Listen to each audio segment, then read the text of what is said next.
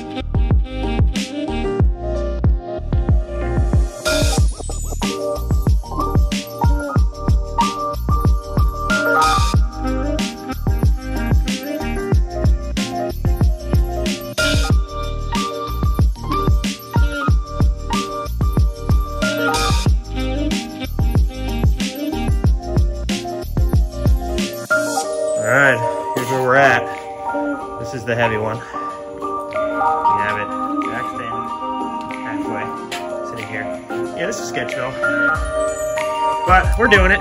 Yeah, do as we say, not as you do. Yeah, yeah. Don't don't try this at home.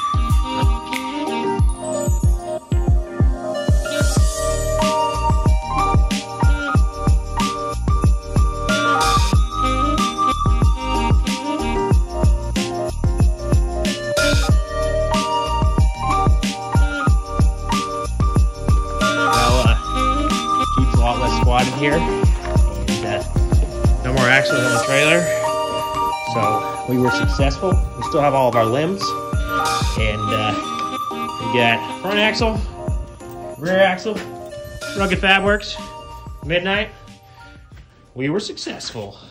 All right, well, huge shout out to Rugged Fabworks. Unloaded those things by ourselves. You could see uh, it was it was a little sketchy, uh, but uh, we survived, and uh, they got to be on the floor here. And uh, yeah, so today we are going to start putting the rear axle in. So if you are doing the coil swap and you want to match the rear axle, the reasoning being the track width, um, it is the same rear axle as a Excursion, kind of. Uh, I found out today, and I will tell you guys as we go through this video what works and uh, what doesn't work. So anyway, let's get to uh, pulling the original axle out of there and uh, stuffing this new one under there, and I'll show you guys the whole process sped up and stuff like that, and then I'm going to talk through some of the things that didn't fit. So stay tuned. Let's get rolling.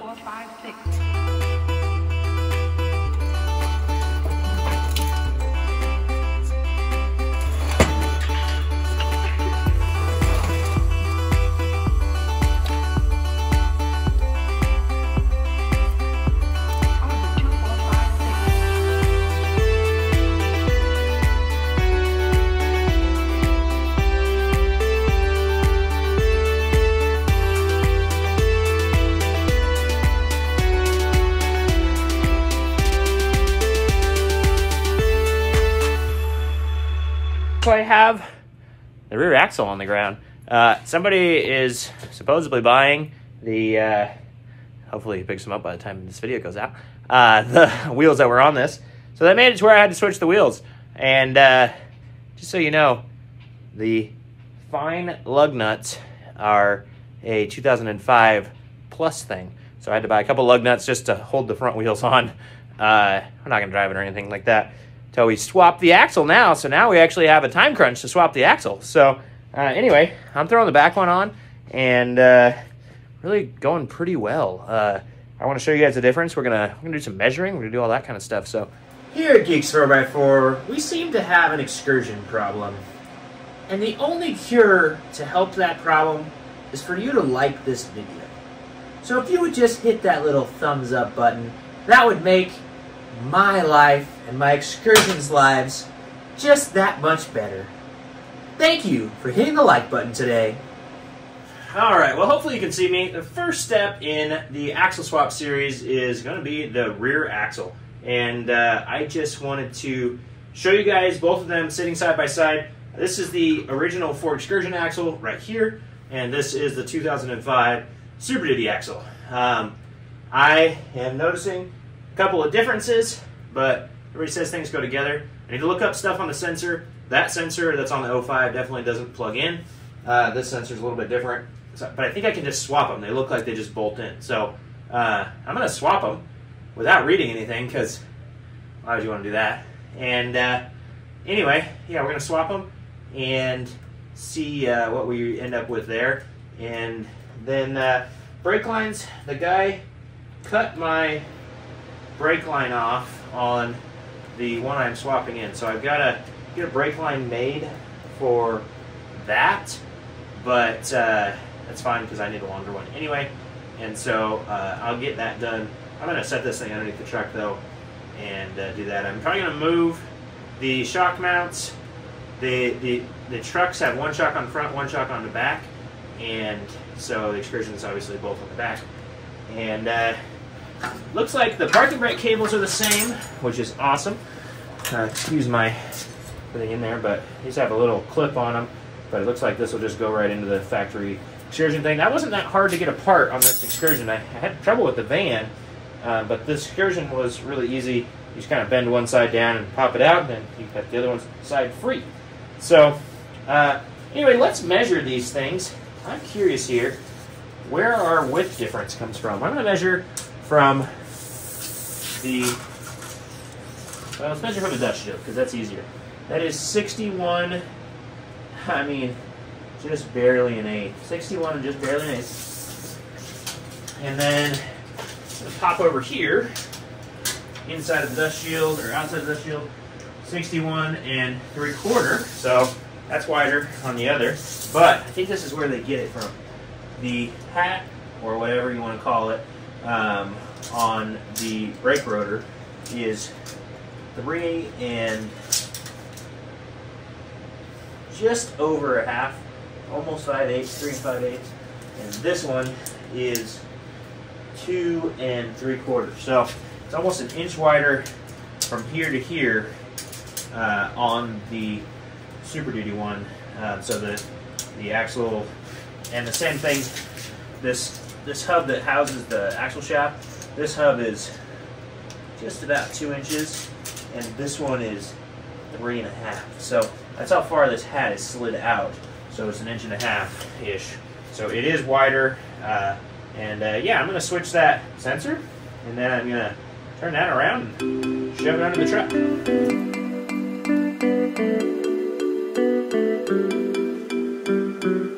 Look very interchangeable to me. Yep,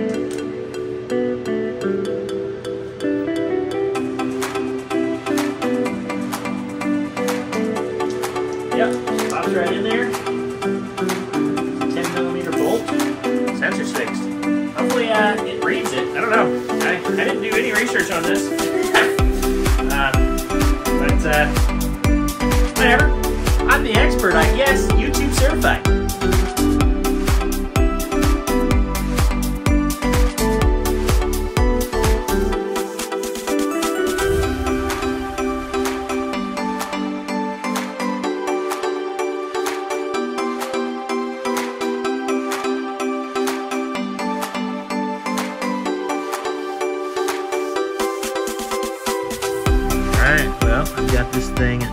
Bolted back to the leaf springs. Nothing's torqued down or anything. But uh, the axle is hanging there. So, pretty cool. I'm to hook up the emergency brake lines. And I've got to figure out how to hook up the actual brake line. Because i got to get a new one of some sort. Uh, and see if the drive shaft fits. And things like that. So, I'll let you guys know.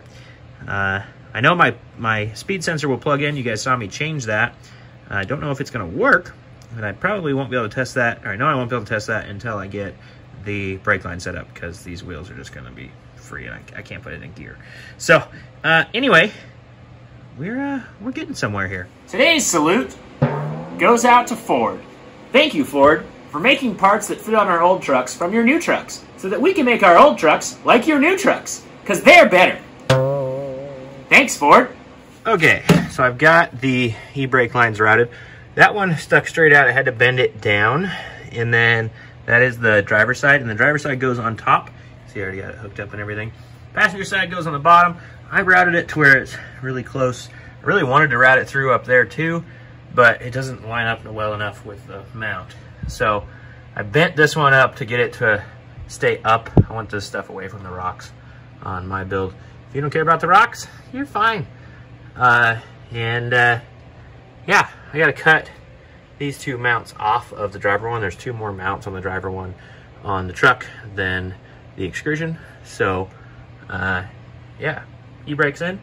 And now I'm gonna hook up the thing. I left all the clips on the um, speedometer cable. And so I'm just gonna clip them back around the e-brake line and that will be finished. All right, well, I ran into my first part that I've had to order, uh, and I wanted you guys to know. This is my brake line off of that axle. So it's attached through the vent. The vent tube actually has a thread on the bottom of it, and it goes right through this hole and goes into the axle, just in case you didn't know that. Um, mine was cut by the guy that took the axles out. I didn't end up taking these out myself. So um, it was cut, but uh, I have found out today, and I have one on order from Napa. It's $48 right now to 2023 March. Um, and it is 24 inches long. Well, the stock excursion one is 20. And so uh, that gives you room for four inches of lift just with a stock F250 uh, rear brake line. So that's pretty awesome. Uh, when you're pulling your axles, be careful, try and use this. If not, Napa's got them. They're, they're on order thing. So um, the local warehouse had them, so it'll be here tomorrow. But uh, yeah, that's that's the only snag I've run into. Uh, that thing is under there. The parking brake's hooked up. I have not put the drive shaft on yet. That will be next, and I'll let you guys know how that goes. And then I'm going to flip the shock mounts around, and I'm actually going to flip them upside down too. So I'm going to run it to where the U-bolt is upside down under the axle, so I don't have thread sticking down. I know that that will be upside down for the shock mount. I'll probably end up welding those things on at some point, um, but this is you know a much different build than a lot of you guys are doing. So that mount right there is probably exactly where you want this mount to be uh, if you're just doing this in your excursion normally. But I'm going to do some other things, and I just figured I'd let you guys know what I'm doing. So anyway, on to put the drive shaft in. Alrighty, well, you can guess what I found out by the fact that the drive shaft is not sitting in it. Uh, this flange is set for a bigger um, setup on the drive shaft. So uh, this puppy is going to need a new drive shaft. Now, what that means for you guys is you need to pull the rear drive shaft off of the F-250, but then you also need to make sure it's the same wheelbase F-250. So 137 is the wheelbase of the Excursion, and so you're going to be looking for an F-250 like that, or you are just going to get a custom drive shaft like I'm going to do. So I'm going to measure up the drive shaft, and uh, I'm to call Quigley, see if they can't knock one out before Moab. All right, so I played with these shock mounts, and I flipped them over like I told you guys I was going to do, but I hate it. Uh, they are two different mounts. One was for the front, one was on the front, one was on the back, and they just don't work right, um, and I don't love it. So what I'm going to do, and I will help you guys, you guys in the next video when I get this done, is I'm going to pull these ones off of the excursion axle, and I'm to hopefully get this skid plate off of it. I think it just comes off with the bolts. If not, I'm to cut it off. Um, and I'm to flip them over and put them, because they are the same. And so when I flip them over, they'll at least sit at the same spot. And uh, the reason I want to flip them over is because look at the clearance. Uh, that is a big deal there to get the rocks slid underneath it. So uh, anyway, I would switch. Uh, my suggestion for you, if you're just doing a stock swap, is I put the mounts from your excursion axle on here. There's a little like nub on the other side, and just put them on either side of them, and it's not really a big deal if it move it over an inch or so. So anyway, yeah. All right, so to sum it up, the drive shaft does not fit. If you are going to, uh, not lengthwise, but the flange on it is different. The flange on the axle is different. The length is actually just fine, um, but the, the bolts don't line up on the flange. So uh, if you are going to do this swap, you need to make sure that you grab the drive shaft from your donor or just that plate. You can probably put that plate on the factory drive shaft. Uh, but I'm going to get one made. I'm going to get a double cardan shaft made. My pin angle is pretty crazy now with the shackle flip. It really pulled the front of the axle up. And so I need a double cardan shaft. I, I'm going to want one anyway. As we go down the road, I'm going to want a beefier one. So uh, I am reaching out to drive shaft companies and uh, working on getting that done. And uh, the other thing, the shock mounts, I am going to pull the ones off the Excursion axle. I haven't done that yet, um, but I'm going to, and I'm going to flip them over just for now uh, to give me something I need. Uh, it's going to really limit my shocks, though, as far as length goes. So that'll be interesting. Uh, the up travel of this truck, I'm not expecting a whole bunch of up travel because the 40s are going to get into the fenders. Um, but I want a lot of down travel, and I, I don't know. We're going to see. The shocks might have to be too short. It's gonna it's gonna take some real engineering here. So uh, that's going to be the hard stuff for somebody like me. Uh, for you guys, just set it up factory, run your factory shocks. Like this is gonna a factory bolt-in on that. Still have not tested the speed sensor. That will be an update in a future video.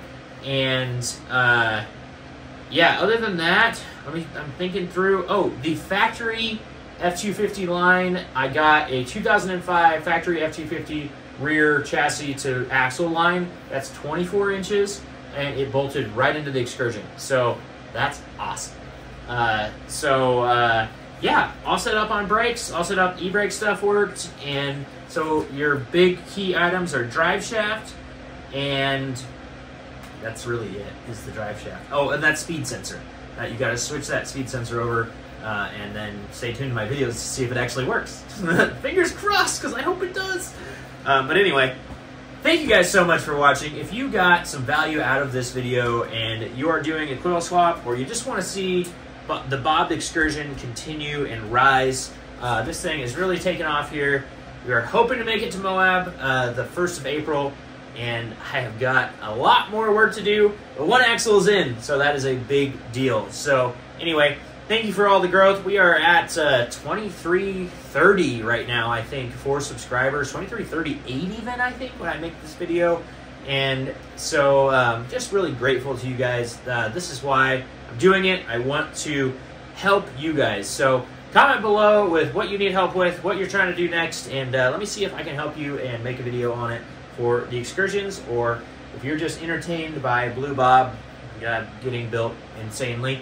Um, I appreciate the subscribe and the like of this video. So, anyway, thanks for watching. We will see you guys next time.